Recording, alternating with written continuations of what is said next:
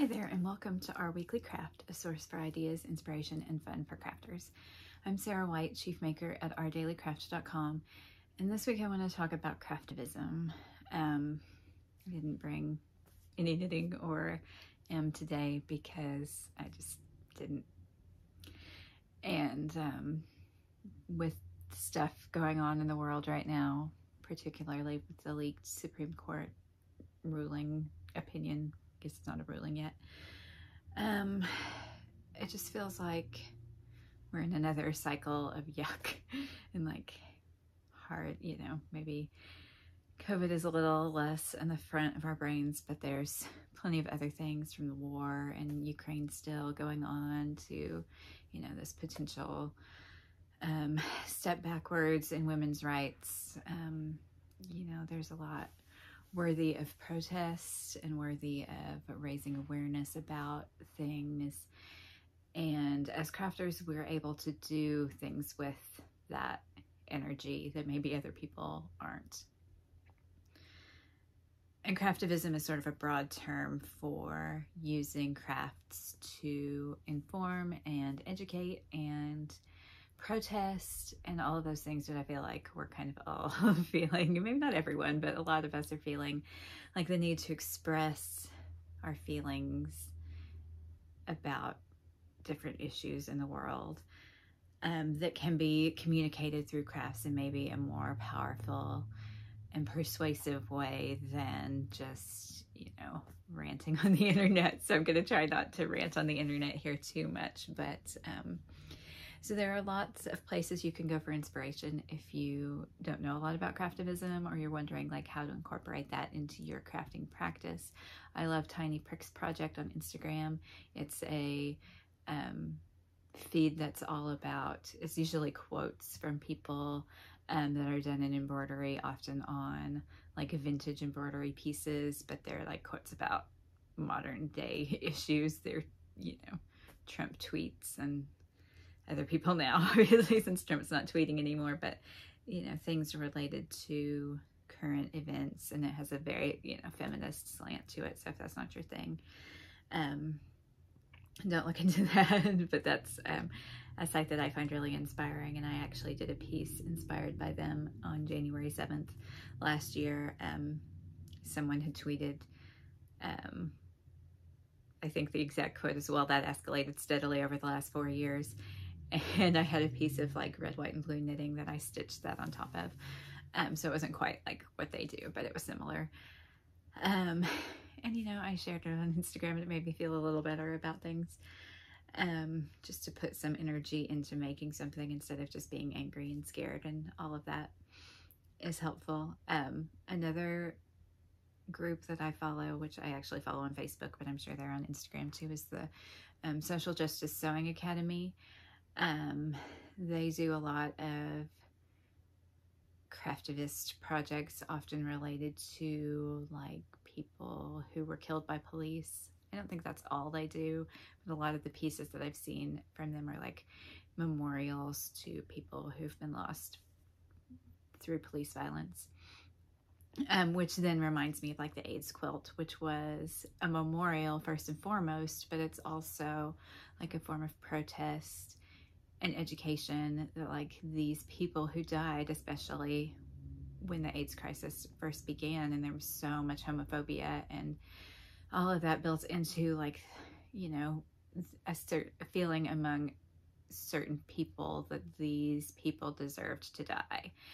And so the AIDS project, AIDS quilt project sort of made those people real and said, you know, these were people who were loved and who did important things and loved music and were creative and beautiful and nobody deserves that fate. And so in a way I feel like that that has as a project has evolved over years and so it's awareness and it's also a memorial and making it real to people. And so that's just like another aspect of craftivism that can be that I was reminded of this week um, while thinking about what I might want to do now as a crafty thing to deal with some of the feelings that I'm having. Um, there's a Carrie Fisher quote, take your broken heart and turn it into art. And that's, I feel like that's a lot of, a lot of craftivism is that expression that it's just like you taking those feelings that don't have anywhere to go in your body and instead of like lashing out at people you make something. Um and crafters have a lot of opportunities for doing things that can educate and protest and whatever raise awareness of issues that are important to us from you know using your hand lettering skills on protest signs to you know making a cross stitch pattern that's related to whatever issue of the day and you know displaying it in your house or in your office so that other people know that that's something that's important to you it could be you know, making a fabric flag or doing a, like the Social Justice Sewing Academy does, doing a, a portrait of someone in fabric um, related to whatever cause. Um, you know, it can be knitting a blanket and auctioning it off and giving the proceeds to Planned Parenthood. It can be so many things.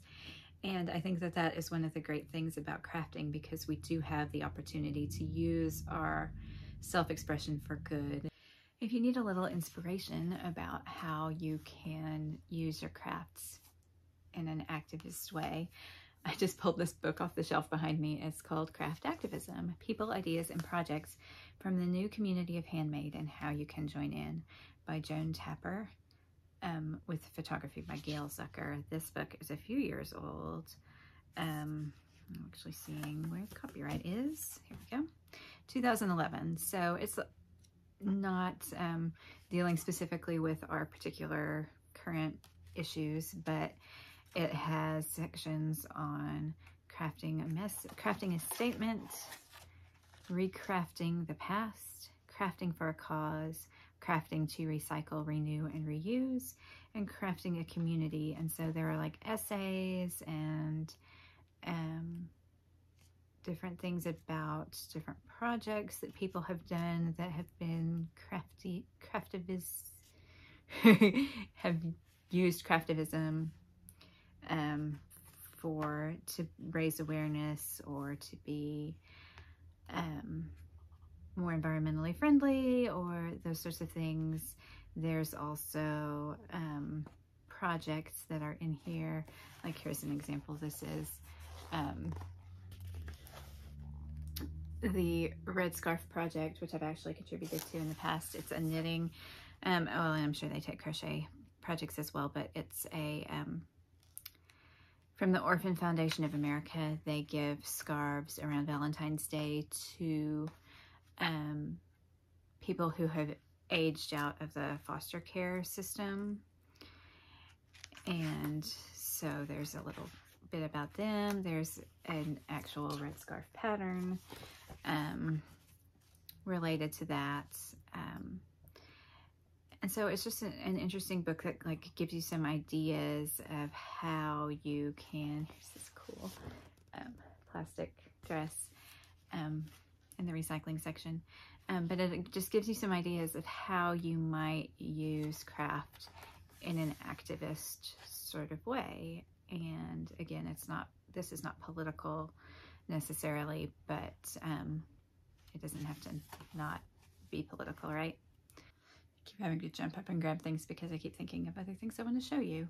Um, another example of thing that I have made is kind of a wonky little um, flower, but this is a like a suffragette because it's white um, flower. It's a pin, so I wear this when I vote because it reminds me of like the women who had to fight for that right that we now have and sometimes take for granted and it you know there's a lot obviously in the current days maybe more so than we felt a few days ago but um, there's a lot. As women that maybe we have taken for granted our rights that we expect to remain our rights um, that aren't necessarily and that nothing's fixed um, if you're a woman in America and other places in the world, some more so than others. But so this is just like it's a bunch of cutout circles of different kinds of white fabric and then I made a ruffle out of this main um, fabric and it's just stitched down to a piece of felt um, and then I put this sort of crystal button that's from my it's plastic it's not crystal but um, from my grandmother's button jar that I have now um, so it's a connection to you know, all the women of the past who have voted and who fought for that right um, for me and my daughter, um, but also a direct link to my personal past.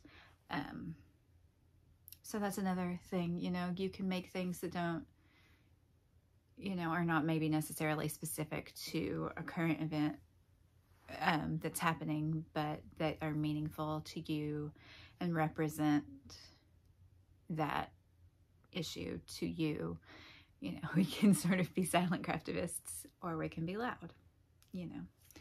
Protest comes in lots of different forms. And so that's just something for you to think about if you're feeling, you know, like this week is hard and you want to do something physical.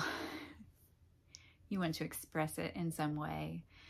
To think about what kind of art you can make out of that feeling. Um, I'm thinking about taking some of my scraps um, and making a banner of some sort, but um, I don't know yet what that's going to look like. Um, but I will let you know when, if I do. Um, I don't feel like I have much else to say this week. I'm still watching Big Little Lies and reading Cloud Cuckoo Land, and I think those were both true last week. Um, so yeah, just trying to get through the days, and it's been raining like all week long, and it's hard to want to do much of anything. So hopefully, getting out of that feeling soon as well.